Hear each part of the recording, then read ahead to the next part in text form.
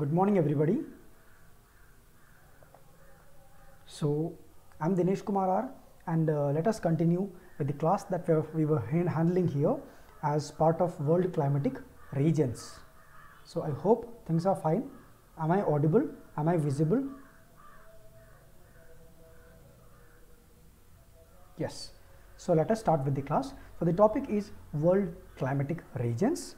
So, I am Dinesh Kumar R. If you guys like my class, you can follow me on the Unacademy profile here.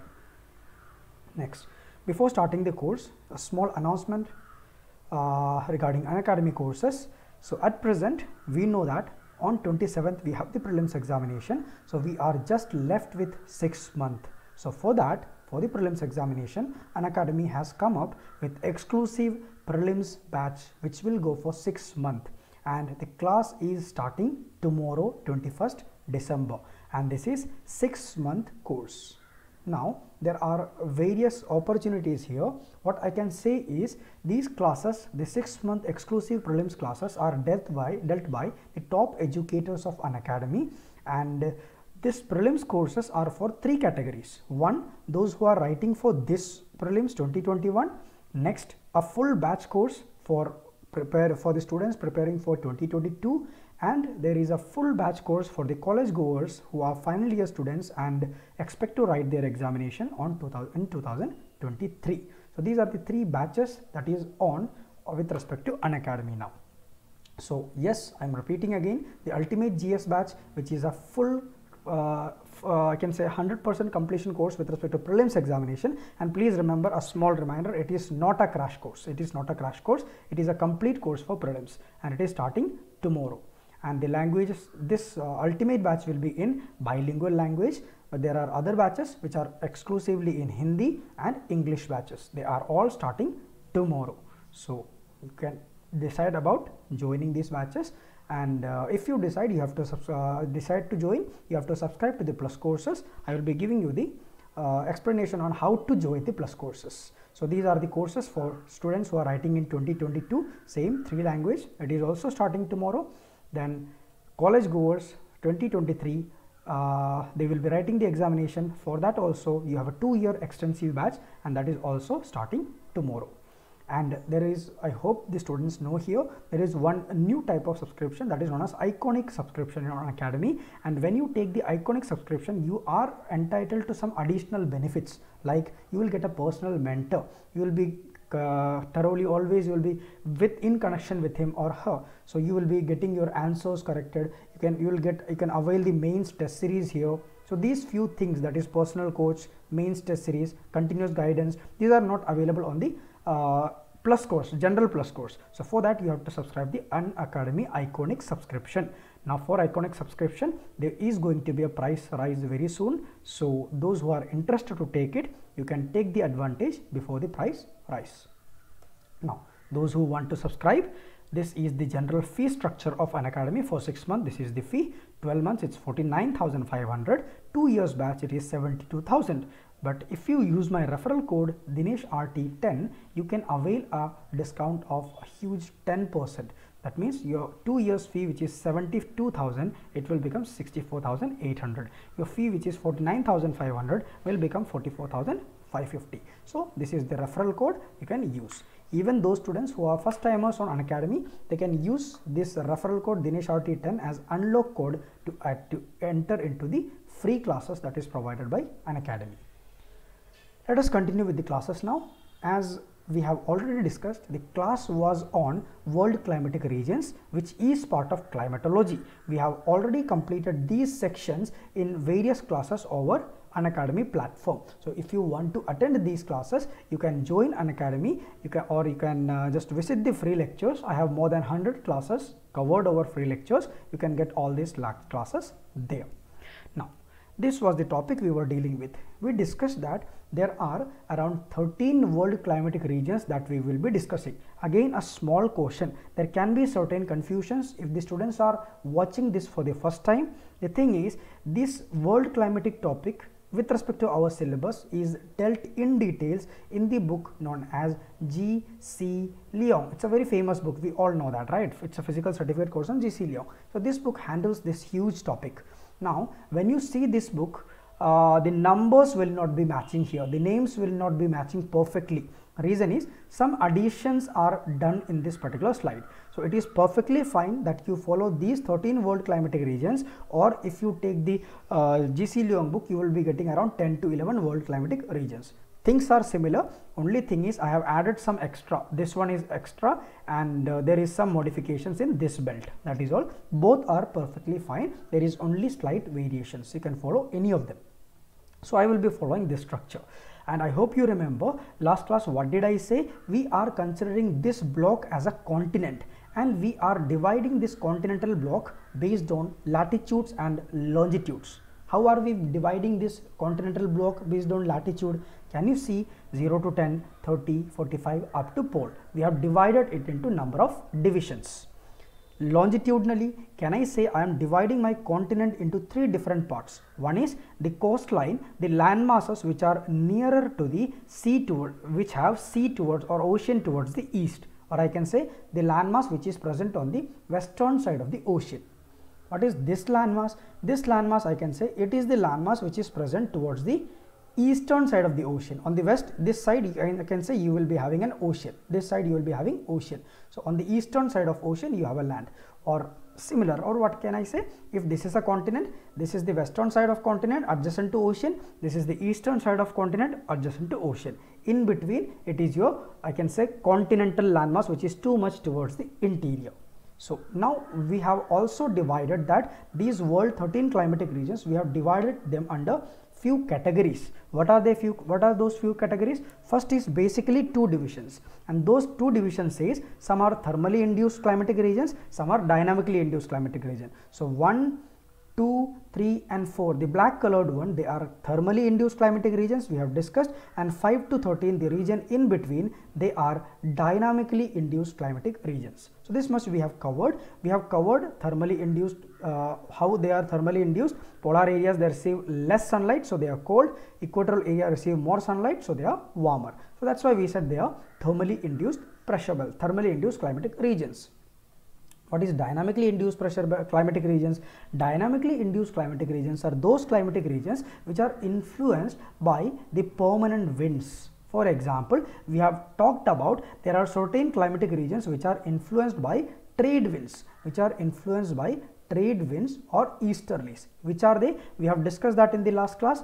In the present figure that we will be talking about, this one 5, 6, 7 and we have one more here that is known as China type. That is China type. So, these four are trade wind regulated pressure belt. We have discussed that. You can see it here.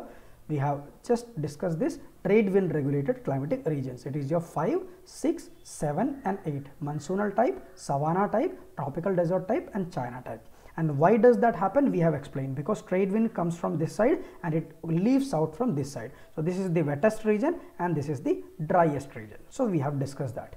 Next is we have discussed what is we were discussing. We have to start from this topic. That is what are westerlies or regulated climatic regions. So if I say what is westerlies regulated climatic region, see this is my westerly wind. This is my westerly wind. I can say this is also my westerly wind. But why two figures? The reason for two figure is we know that the pressure belt keeps on shifting up and down with respect to the apparent movement of the sun. So, if it is summer season, what happens? The sun moves towards north. Accordingly, the entire pressure belt keeps on shifting towards north.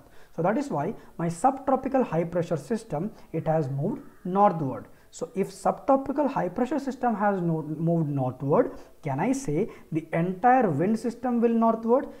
Will move northward and if the wind system moves northward ideally during winter, se winter season this, this was my westerlies now my westerlies has reached here. So, which are my westerlies regulated world climatic regions I can say 10, 11, 12 and 13. Here also I can say 10, 11, 12 and 13. How can I say they are westerlies regulated climatic season? Check.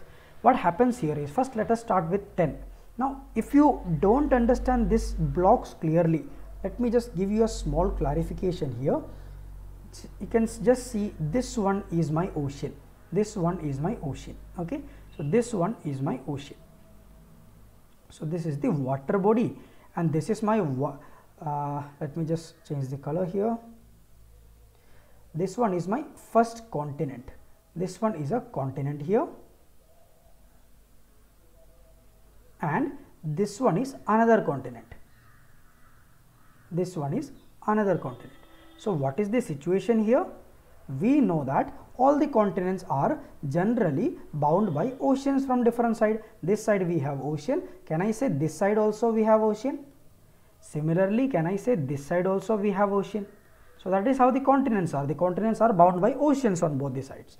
Now during winter season what did we say? We clearly mentioned that our subtropical high pressure belt is towards much towards south. When subtropical high pressure belt is towards south can you see the wind will be entering into the 10th location. What is the 10th location? Let us see the name. If you remember this is your 10th one. That is your mediterranean climate. So what can i say here?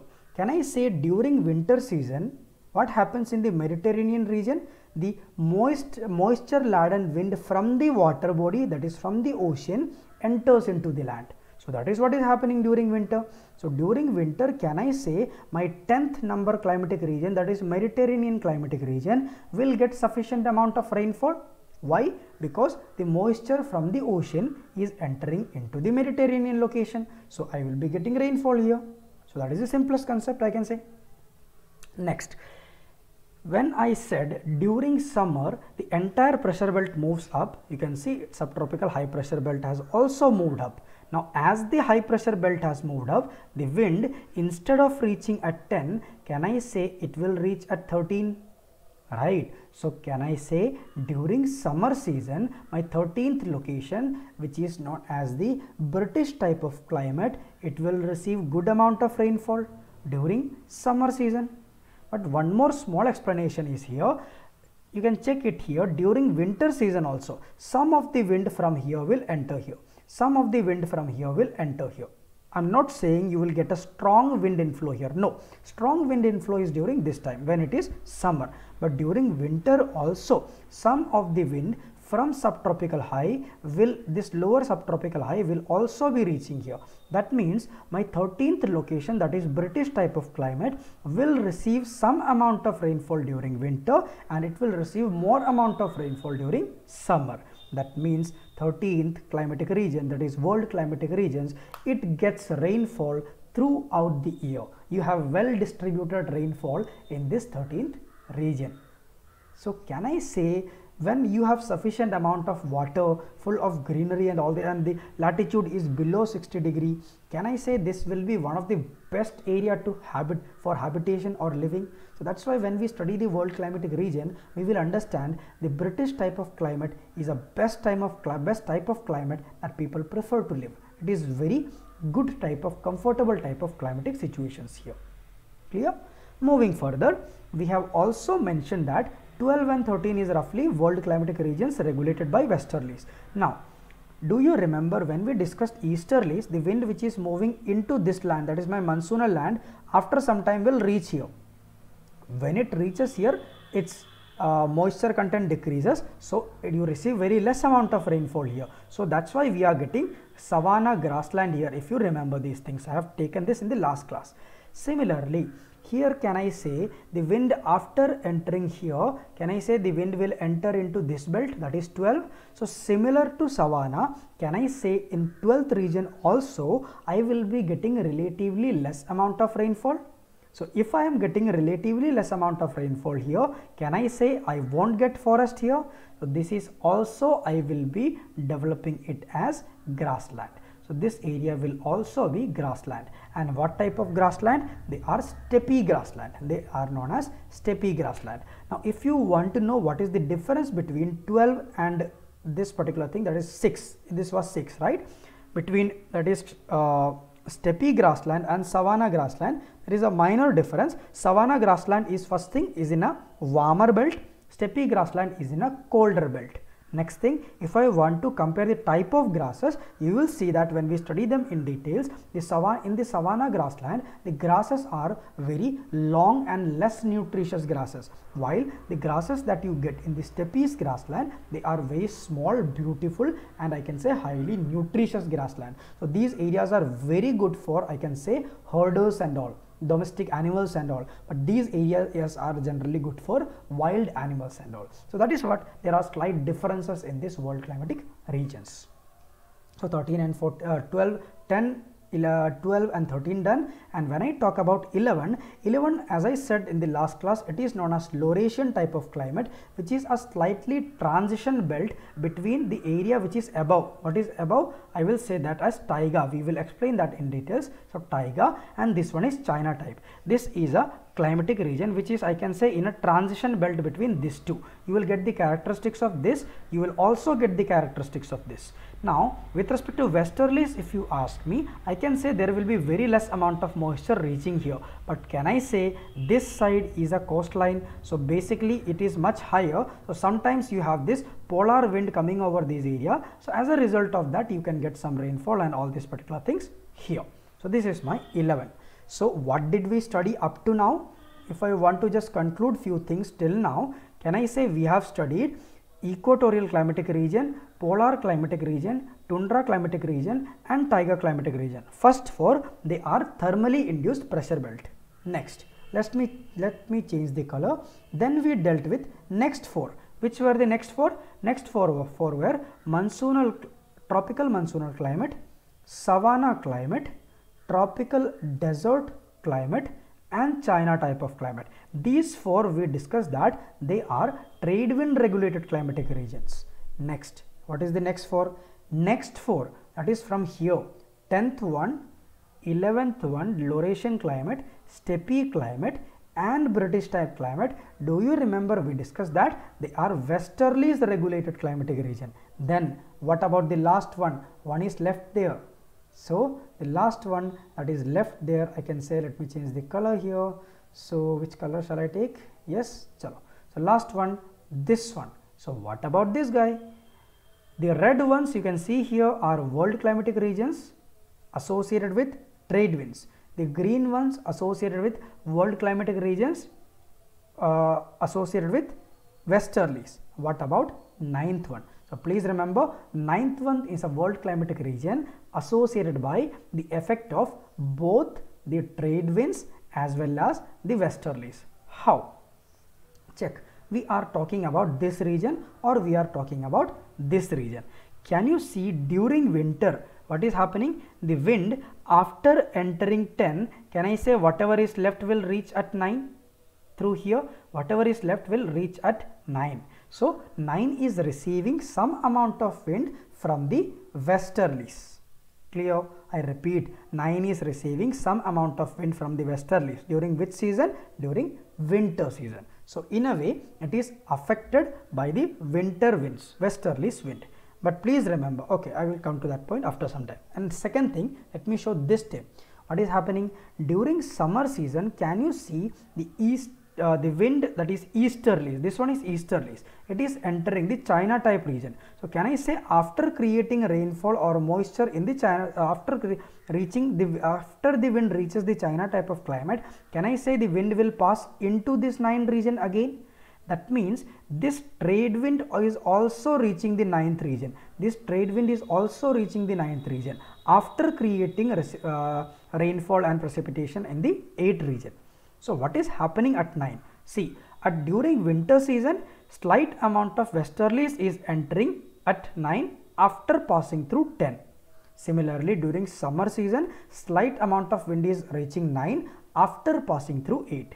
That means on both the sides of 9, suppose this is my 9, on this side I have a barrier, that barrier can be 8 and on this side I have a barrier that can be 10. What is this 8 and 10?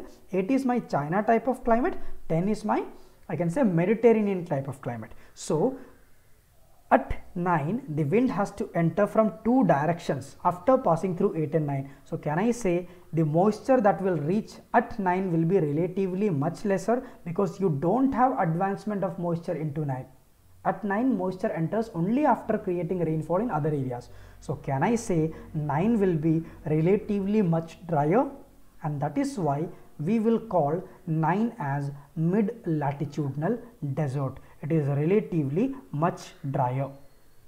Why mid latitudinal? Because it is not at the lower latitude. See, up to 30 degree we called it tropical desert. No, but this one is above that 30 to 45 degree. So that is why we will call it they are mid latitudinal desert. So these are the 13 world climatic regions that we have discussed with respect to the direction of wind. Finally, I am concluding how they are developed. The first four that is written in black color, equatorial, polar, tundra and taiga, they are developed because of thermal regions.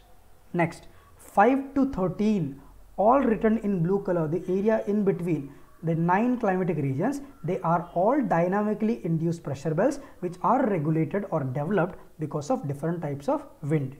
Out of that, we have also discussed number 5, 6, 7 and 8 that is monsoonal, savanna, desert and China type are developed because of trade winds while the next four 10, 11, 12 and 13 the green colored ones they are developed based on the westerlies wind.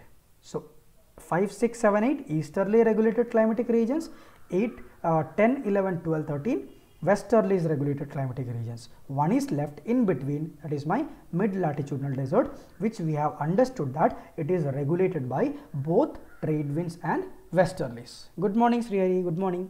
Right. So that is how ninth climatic region is regulated. So this is how the world climatic regions has been developed. I hope things are very clear. If you have any doubts in between, you can ask.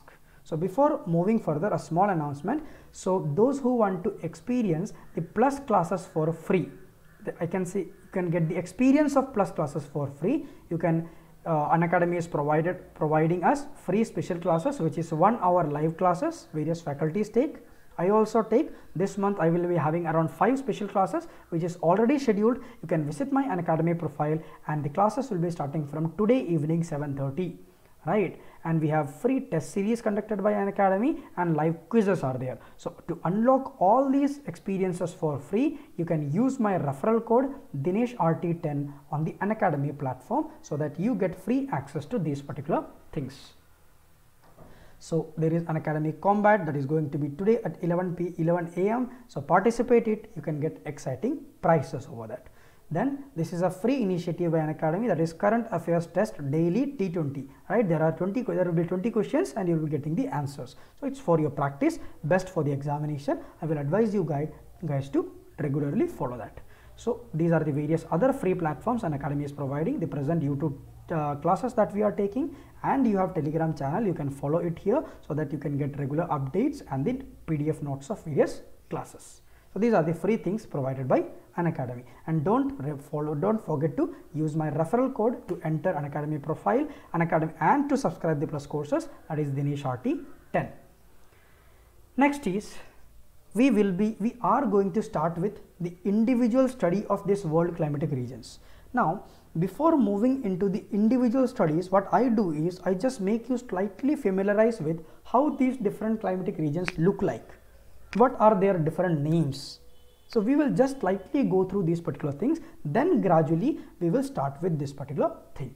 So what are these different climatic regions? There are 13 world, climatic regions. We are going to see what are their different names and how they looks like. That is only things we are going to see today. That is we will just about I can say you can just feel how these climatic regions will be looking like. That is what we are going to do. First one is the equatorial climatic region. What is equatorial climatic region? Another names for equatorial climatic region. It is also referred as hot and wet equatorial climatic region it is simply known as hot and wet region. Why? It is near equator. You have huge amount of insolation Temperature is very high. Excessive evaporation, excessive precipitation. So hot and wet. Equatorial rainforest because this is the area where you develop rainforest or evergreen forest. So similarly, equatorial evergreen forest. Next is tropical moist broadleaf forest. Why? tropical it's in tropical area it is a moist area where you have excessive rainfall and the areas where you excessive rainfall you have excessive rainfall generally the leaves of trees will be broadleaf trees so moist broadleaf forest then lowland equatorial evergreen forest these are the different names that we sometimes use for the same region that is equatorial climatic region i hope you remember the location which is equatorial region. I'm talking about this region which is present in all the continents somewhere in between 0 to 10 degree latitude. So we are talking about north and south both. So we are talking about this region equatorial region. How does they look like? They are dense forest as we have discussed. So, it is thickly covered forest area.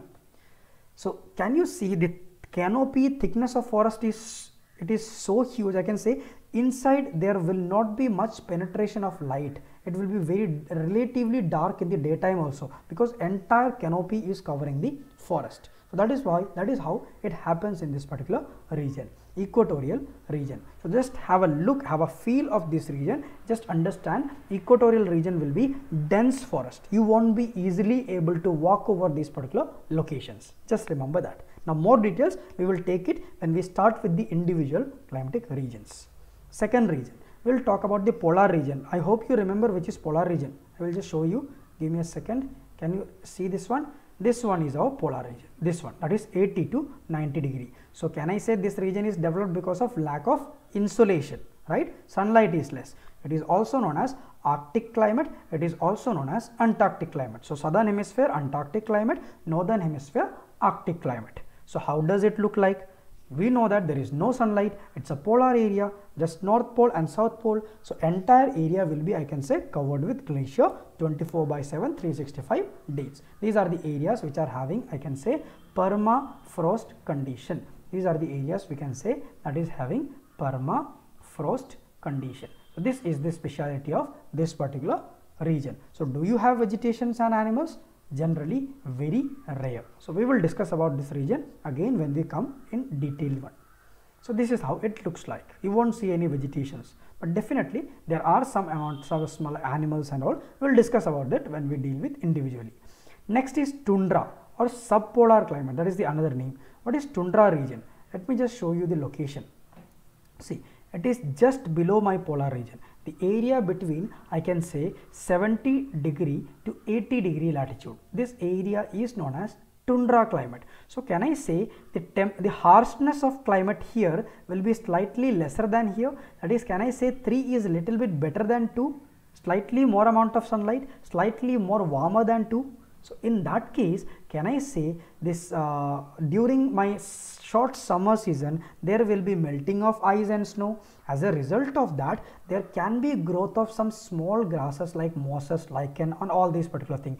Like or I can say there will be short duration of summer, maybe one month, two month or maximum three months. This short duration of summer, we can see much activity here. That is life becomes active here because you have you might have heard about migratory birds. They will come into these areas. Insects small insects they will come into these areas. So life slightly becomes active in this area during the summer season which is very short lived so we will discuss about that thing. One more type I will simultaneously discuss that is alpine tundra. That is tundra itself if it is getting we are getting it in the mountainous locations we will be calling it alpine tundra. For example, in the Himalayan regions we can get alpine tundra as we move higher and higher. That means Himalayas which are at the lower latitude there also we can get tundra but that is that will be known as specifically alpine tundra. Next, third type of climate taiga climatic region what is taiga? This one. Even 10 degree more lower that is we are must just moving away from the pole 70 to 60 degree that is taiga. So what did we see here? No vegetation almost no vegetation I can say permanently frozen. Here during summer slight amount of growth or life becomes active. So can I say here slightly even more activity of life? Can I say here and there I can see some trees here definitely this area is also near to pole. The trees that will I will be getting it here basically they will be conical. Basically they will be conical. So we get coniferous trees here. So this this is how your taiga looks like. So these are reindeers and all. You will get all these particular things. These are conical trees and all which can survive this snowfall and all. So yes, you will have some mosses, lichens, all these particular things that you get in tundra. Apart from that, you will also get some amount of trees and all these particular thing. Huh, it is related to mountain. It is related to mountain. Okay, Srihari. Yes, it is related to mountain.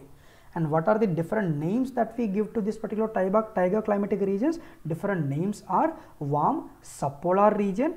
What was the previous one? Tundra. It was just subpolar region. Here slightly warm warmness increases. So warm subpolar region. It is also known as subarctic climate. It is also known as boreal climate, Siberian climate, or or I can call it cool temperate continental climate. So please remember these names can be important. Sometimes they can just in your prelims if they ask some other name apart from taiga if they ask boreal or Siberian you must know that they are one and the same.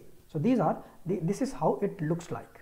So what did we do today is we have just got the feel of the first four climatic regions which are thermally regulated. What were they? They were equatorial climate which is warm and wet then polar climate which is very cold and permanently for frozen tundra slight amount of activity of life during short summer taiga i can say you have even more activity of life with some conical trees here and there. So life is changing gradually from one location to another. So that is my first four that is uh, i can say thermally induced world climatic regions. Now rest these things that is we can say up from 5 to 13 we will discuss it in the next class. And in the next class itself what we will be doing is we will be starting with the explanation of equatorial climate. Now today's class i'm not explaining it. I'm just giving you a feel of how these locations look like so that when we enter there you can understand things very well. So from 5 to 13 we will be continuing that in the next class. So before winding up so if you like my profile, like my classes, you can follow me on my Unacademy profile. This is my profile here. Now, if anybody of you is interested to subscribe to the Unacademy Plus courses, you can use my referral code DineshRT10 or if anybody of you are first time for the first time using the Unacademy app to enter into the free live classes section, you will require an unlock code and you can use my same unlock code that is DineshRT10. So please remember this one I have already explained that there is going to be a price hike in the iconic subscription which gives you a personal coach or mentor, uh, main series and all other benefits. So if you want to subscribe, take the benefit now before the price rise. And yes, you all know that there is 10% discount if you uh, subscribe to the Unacademy Plus courses using my referral code. So those who are interested to subscribe, you can use my referral code DineshRT10 to avail discount of 10% over various time periods. So that is all about this class. We will continue from here where we have left in the coming classes. Okay, thank you. I hope things are very clear. So see you in the next class. Till then, bye, take care and stay safe.